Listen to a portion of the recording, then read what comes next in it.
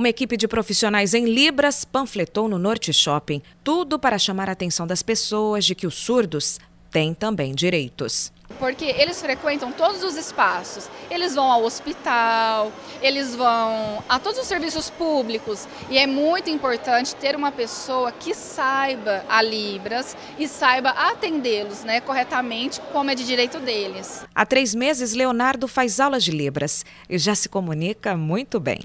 Oi, tudo bom com vocês? Meu nome é Leonardo, meu sinal é esse aqui e eu amo a língua de sinais.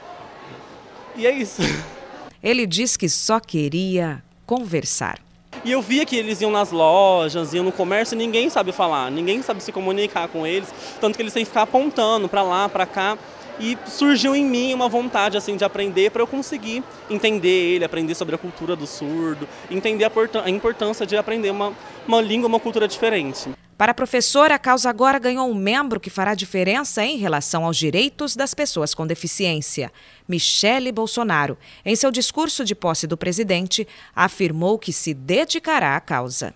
Gostaria, de modo muito especial, de dirigir-me à comunidade surda às pessoas com deficiência e a todos aqueles que se sentem esquecidos. Vocês serão valorizados e terão seus direitos respeitados. O fato da primeira-dama saber a Libras, é, ela está defendendo a causa, ela está nos ajudando né, para que a Libra seja visível né, e que todos entendam a importância da língua brasileira de sinais. Para o psicólogo Alexandre Martins, é direito do surdo se comunicar.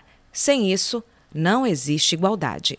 Sou cego, estou conversando com vocês, com o público, mas as pessoas surdas muitas vezes não têm essa interação porque não existe Libras em lugar nenhum para ela poder estar tá se comunicando. Nesse sentido, a gente pode interpretar que o direito não está sendo igual porque não há comunicação, e sem comunicação não tem como o ser se expressar.